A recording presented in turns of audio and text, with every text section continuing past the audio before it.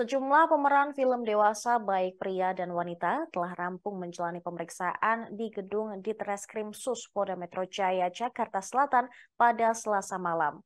Satu di antaranya adalah selebgram sekaligus model Meli Tricipi yang bernama lengkap Anissa Tasya Amelia. Meli keluar bersama seorang pria dari gedung pemeriksaan sekira pukul 19.43 waktu Indonesia Barat. Meli mengaku dicecar sebanyak 38 pertanyaan oleh penyidik.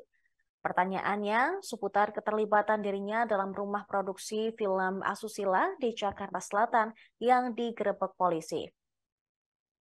Ia juga menyangkal kabar bahwa ia bersama rekan-rekannya dibayar hingga 10 sampai 15 juta rupiah dalam satu kali syuting karena pada kenyataannya mereka hanya dibayar 1 juta hingga 2 juta dalam satu kali syuting film dewasa.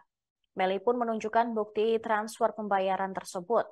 Meli mengaku bahwa dirinya hanya berperan dalam rumah produksi film dewasa di Jakarta Selatan tersebut sebanyak satu episode saja. Pasalnya ia merasa trauma mendalam setelah membintangi satu film tersebut Meli bahkan sempat diajak bermain sebanyak tiga kali, namun dirinya menolak tawaran tersebut. Ia mengaku diminta membuka baju dan beradegan tak senonoh, dan juga dalam syuting tersebut tidak ada skrip.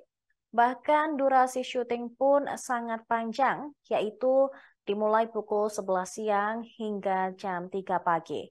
Lokasi film tersebut diketahui dibuat di wilayah Srengseng Sawah, Jagakarsa, Jakarta Selatan. Dirinya bisa memainkan film tersebut berawal dari ajakan seseorang melalui pesan langsung di Instagram. Meli mengaku dipaksa, bahkan diteror, dengan lima nomor telepon yang berbeda. Ia juga mengatakan awalnya diajak untuk membuat konten YouTube dan tidak tahu menahu ternyata ia bermain di film dewasa.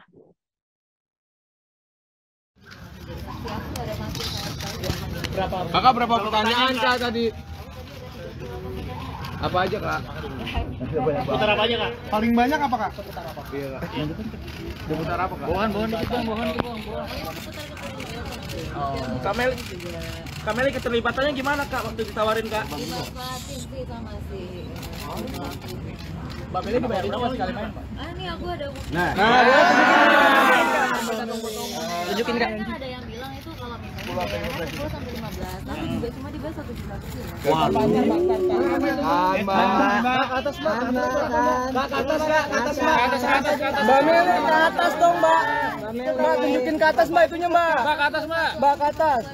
Aku udah trauma juga main di situ Tapi Aku emang dari awalnya jam 11, eh, 11 siang sampai jam 3 pagi disuruh main. Di situ sini dibayar cuma. dibayar turunin tangan mo, turunin semua adegan yang dia suruh dan tidak ada skrip sama sekali.